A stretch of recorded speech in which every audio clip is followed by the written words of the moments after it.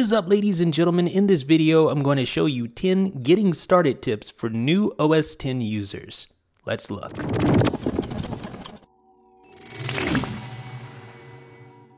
The first tip is sort of an obvious one, enabling right click and adjusting the tracking speed on your mouse or trackpad. So you can see how slow my tracking is on my mouse here, but what we're gonna do is we're gonna go in and change that and enable right clicking. So let's click on system preferences in the dock and then click on mouse. And now just click the checkmark box next to secondary click and that will enable right click. Now below that, you can use the slider to adjust the tracking speed. I like to put mine right about there, and you can see that my mouse is moving much quicker, and I can also right click, placing the dock on the side of the screen. Now this is a tip that I really enjoy. You can place the dock on the side of the screen by going to System Preferences, clicking on Dock, and then using the Position on Screen little section and clicking the left radio button there, and you'll see that the dock moves from the bottom of the screen to the left side of the screen just like that. Now, why would you do this? Well, you get more vertical real estate, which is limited when compared to horizontal real estate, and that's the main reason why I choose to do this. I know everyone won't agree, but try it out for a week. You might like it. Minimize windows into application icon. When you minimize a window on a fresh OS X install, you're going to notice that that window minimizes into the dock, into its own space on the dock for that matter, as you can see here. And when you have just a couple of items in your dock, that's not a huge deal, right? But when you start to have multiple items in your dock, that can fill up really quickly and it can cause your dock to become unwieldy. So let me open up a couple of other applications here and minimize them. You see the app stores there minimized.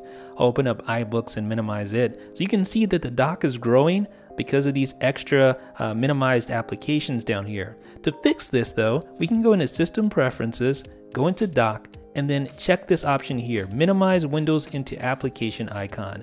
And what that's going to do is that it's going to make any minimized window minimize into its own application icon so it doesn't take up extra space on your dock. So you can see here that Safari window minimized into the Safari application icon on your dock. The App Store window minimizes into the App Store app and the iBooks window minimizes into the iBooks app. So all you need to do is just right click on an app icon to see which open application windows are there. So right click here, there's iBooks, and I can also right click and select show all windows, and I can see all open windows right down below, just like that. Enable show desktop hot corner. Now, of course, there are keyboard shortcuts that can be used to show desktop quickly, but what if you want to assign a quick shortcut to your mouse? Well, you can do that by going to System Preferences, clicking on Mission Control, clicking Hot Corners, selecting one of the four hot corners, I choose the bottom left one, and then choosing Desktop. And then click OK, and then close out of System Preferences. Now when I move my mouse to the bottom left hand corner of the screen, I can quickly show my desktop and access any files or folders on my desktop. Pretty awesome. Enable three finger drag with trackpad. For some reason, Apple decided to make it a little more difficult to utilize this, the three finger drag with the trackpad but I'm going to show you how you can easily re-enable that three finger drag gesture so that you can move applications, you can move icons on your, on your desktop, you can move any content using a simple three finger drag. So all we need to do is go into system preferences and we're to go down to not trackpad as you might think, but we're going to go down to accessibility right here. All right, and then we're to scroll down until we see mouse and trackpad, click that, and then click trackpad options. Now click Enable Dragging, and now from the drop-down menu, select Three Finger Drag. And now just click OK. Close out of System Preferences, and now we can use our three finger drag gesture on the trackpad to move content on screen, just like this. So necessary. Show keyboard emoji and symbol viewers in the menu bar. Now, of course, you can access your emoji and symbols by going up to edit and then using the show emoji and symbols shortcut, just like this. But you can also place a quick shortcut directly in your menu bar to quickly access the full version of the emoji and symbols viewer. And I'm gonna show you how to do that right now.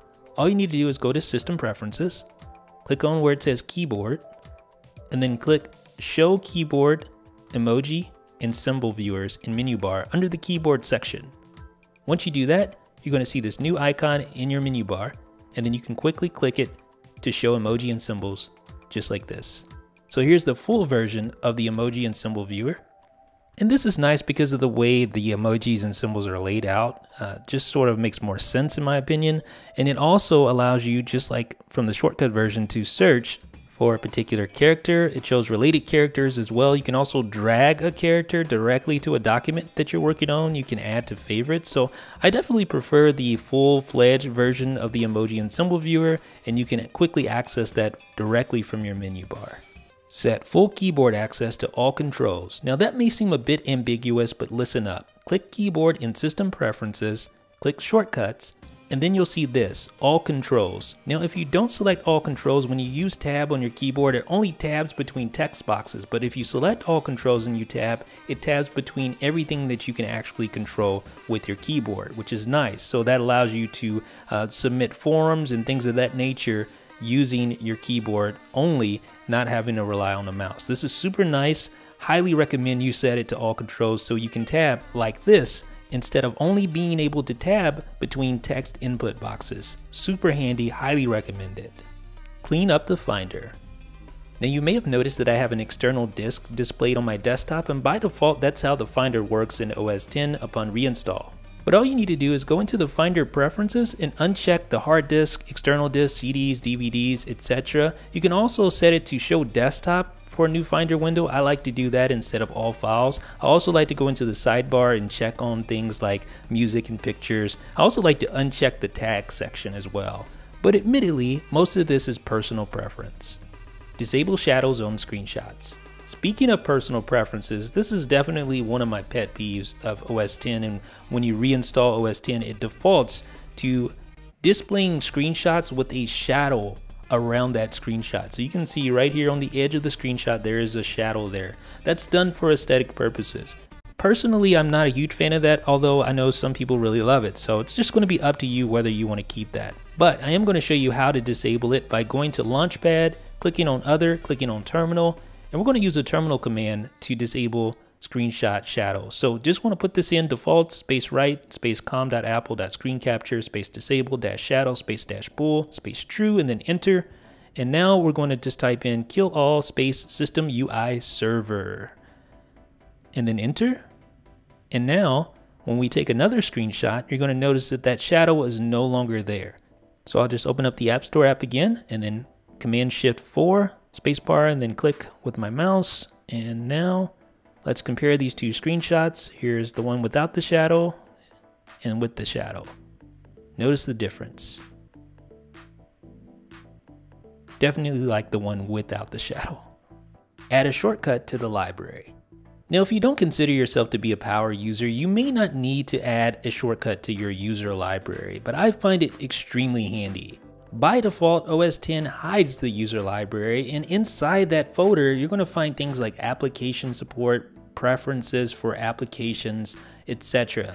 Now to show that library, all you need to do is click the Go menu in Finder and hold the Option key, and you're going to see the library appear. Just click Library while you hold the Option key, and here you go. Here is the user library. I mentioned application support, I mentioned the preferences folders.